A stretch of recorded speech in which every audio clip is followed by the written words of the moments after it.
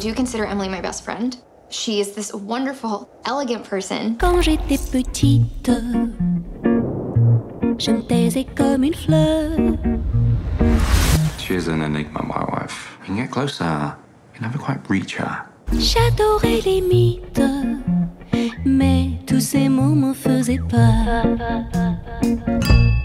Everybody has a dark side. Some of us are better at hiding it than others. J'adore mon poisson rouge.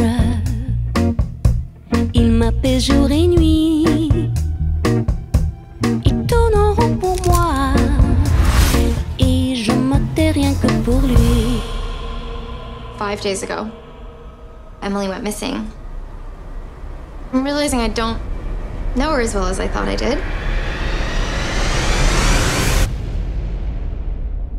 Emily, if you're out there, we're all really worried.